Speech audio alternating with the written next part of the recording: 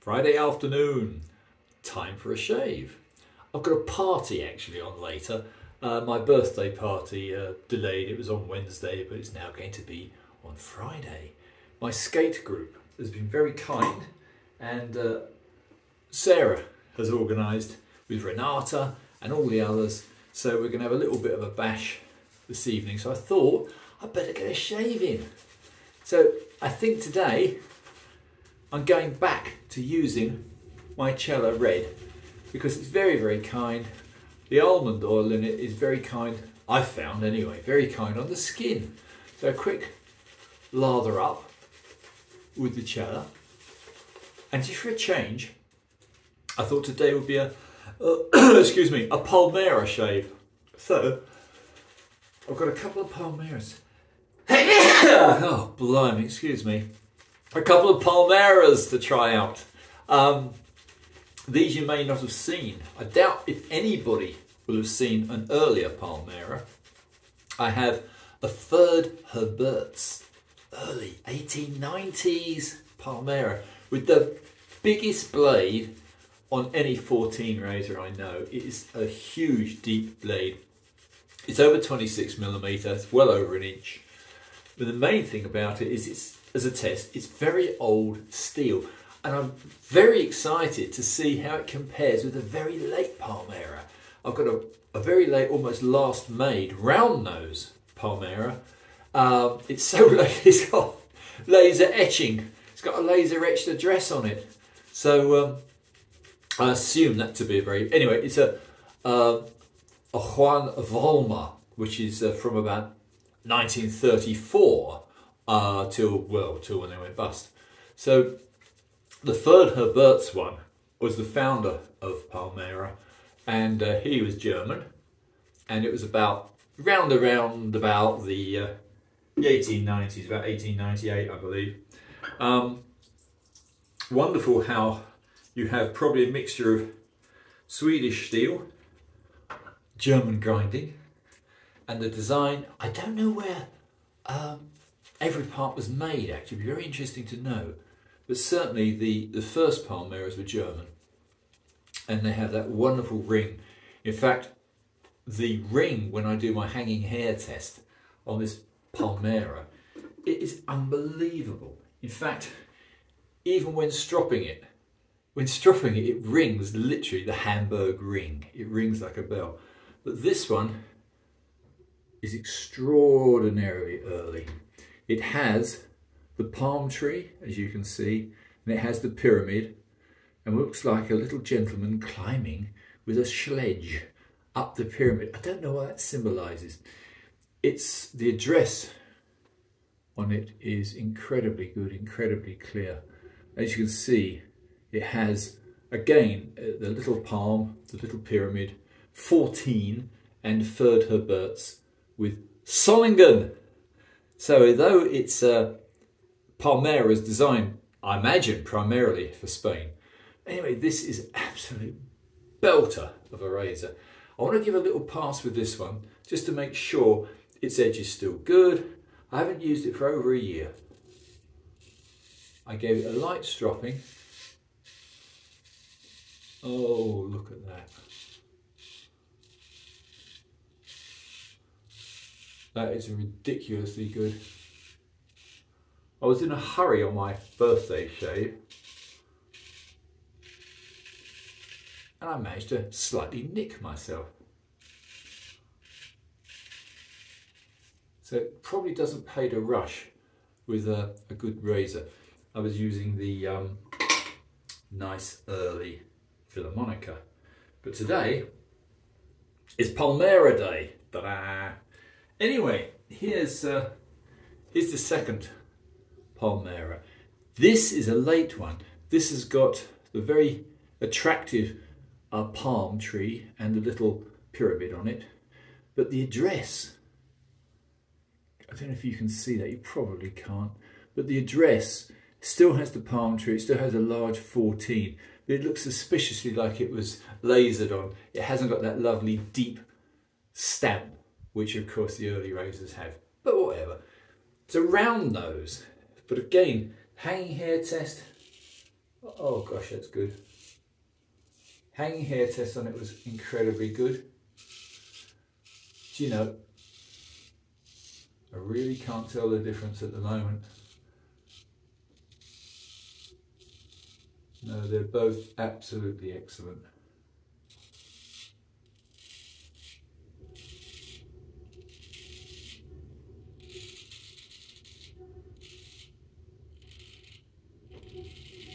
Yeah. Remarkably good edges. I only say it's because of the steel, it's not me. You can't beat this quality of steel. It's a shame because um, I like the big blades for the simple reason you can gauge the angle against your skin. They've got a bit of weight to the blade and to the spine. I just find them a little bit easier. Really, this is, this is, oh, this is so cool. No friction, no drag, no resistance, just supreme. They're both on um, synthetic edges. I think I'm right in saying I put, again, 20k Suehiro on both of them. And um, for some reason, I've probably said this before, but for some reason, good quality big blades from this period, deep hollow ground, you can sharpen them pretty much on anything. Honing honing a big razor like this is actually very, very easy. I've never had a problem with it. And one's as good as the other. Let's try um, a second pass. This time, I think I'm going to go against the grain, under the neck, with the round nose. Yep. You can hear there's no resistance, there's no dragging at all.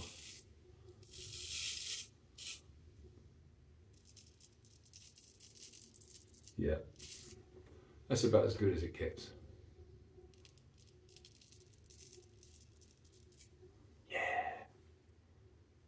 How about that? it's so good to get a good result from a good razor. It's nothing less than I'd expect. Palmera is uh, an extremely good make. So if you get your chance ever to get a Palmera, don't hesitate. I would say um, one of the best makes ever made. Is it better than a Philly? No, it's not. Each one is slightly different. Whether it's um, a Filarmonica or a Palmera or an Iberia if you can get one, uh, equally good.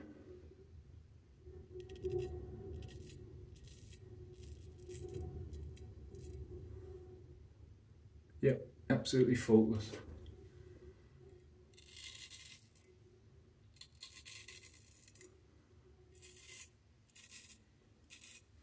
Yeah.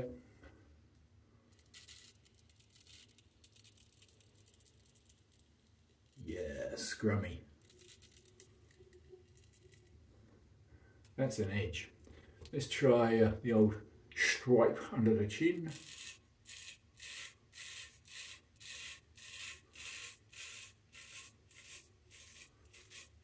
This is always a tricky area. Usually takes a couple of passes. I'm not going for fantastic today. There's nobody likely to want to kiss me at the party. so um, I don't have to look incredibly smooth shaven. BBS I do too often. It, it, if you gain more than three or four passes, you're uh, you're risking a bit of a sore skin sometimes. Or if you're really clumsy, you cut yourself as I did on my birthday on Wednesday. Anyway, let's see.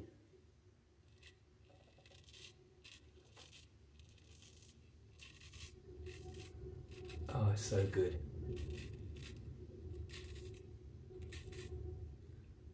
Yeah, I like it. that was an awkward pass, by the way. It wasn't the best pass I've ever done. Yep. Well, that's pretty much it. I don't think I need to do much more.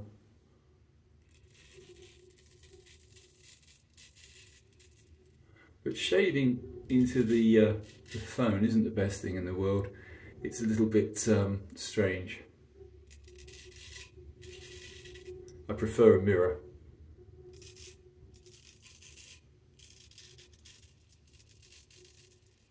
I'm sure you chaps are sick to death of looking at my ancient face.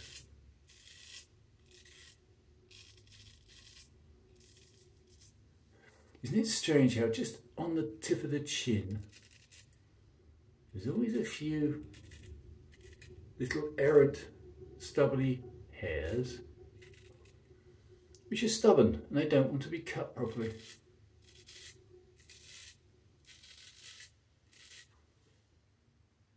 Yep, that's BBS. So there we have it. Anyway, chaps, I'm not going to waste too much of your valuable time. Um, mine's unimportant. I'm retired. I still work, by the way, but technically I'm retired. Um, but not from life. Anyway, look at these two wonderful razors. There is your very, very late round nose Still a 14, still a very big blade, still incredibly hollow ground. I probably can't do justice with this. And there is the 1890s Mint Palmera by Third Herbertz, the original founder of the company, the German gentleman. And this one is, well, superlative is a overworked, overused expression, but it is, it's superlative and it rings like a bell. When you're stropping it, it rings. When you do a hanging hair test, it rings. Old steel is out there, needn't be dear. All I would say is, um, given a choice, I'll always go for the old steel, but I'll try anything. Anyway, I hope you enjoyed this.